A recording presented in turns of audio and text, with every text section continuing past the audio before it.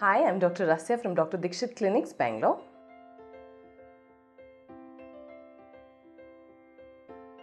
Fungal infection of the hair shaft of the underarms or even in the genital area can present with a white coating around the hair.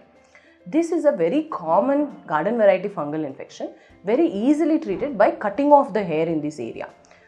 Also, it is recommended that you can do a antifungal application, which is a medicated application, and an antifungal tablet for a period of two weeks. But the most important thing is this can be done only in consultation with a dermatologist.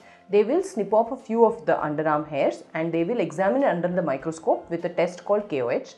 This will show whether there is a fungal infection or not. Once there is uh, fungal infection, you will have to be treated with a course of antifungal tablets and creams which will cure this infection.